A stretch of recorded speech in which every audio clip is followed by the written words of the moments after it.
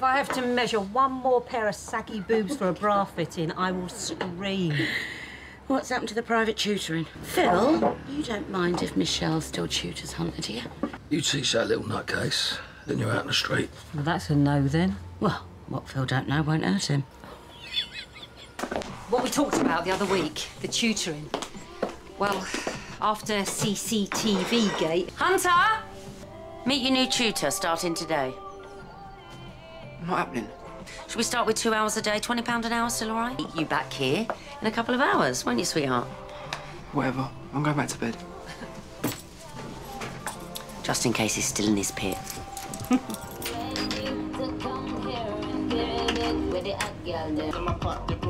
Louise? Michelle, what are you doing here? We were just revising. For biology? Oh, you can't say anything, Michelle. You know what it's like when, when you're really into someone and people keep trying to keep you apart.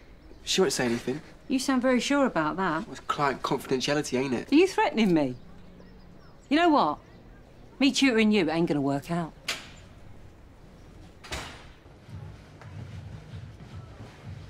It ain't gonna work out. Sorry. You were practically begging. I just can't fit it in after all. What with the day job and all that. Sorry again. Relax. Relax. I can't relax. I know. Should you really be here, Louise? Just going, so. See you later. See ya. So, another tutor bites the dust. Take a bow, Hunter. Okay. Ellison's here you come. No. I ain't going back to that school. Ever. All right, fine, fine. You know, she's got form Form. for younger guys. Her pupils. That's why she can't teach in schools no more. I don't want to get anyone in trouble, all right? Uh, uh. Talk to me. It was nothing. Look, Michelle asked me not to say anything. She was really embarrassed. She was helping me with this English question. You know, our faces were close. I guess she just got caught up in the moment. I mean, she's old. It's probably hormones and stuff. Hunter, what are you talking about? Hey. So, I walk in there, right? Oh, oh, that thought. Where's the trap? Don't blame me. I'm sorry. Blame that son of yours who can't keep it in his pants. He's 15! Uh, maybe, but he knows what he's doing, all right. You sick cow! Uh, Mel!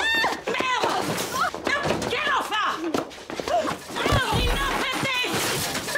It! Ask little Miss Cougar Town over there. I don't know what you think. I think is you're a dirty old skank who can't keep her hands to herself. What is this about? This slapper tried to put her tongue down my son's throat. That's what this is about. Shut your cake hole for a second. I'll tell you what really happened.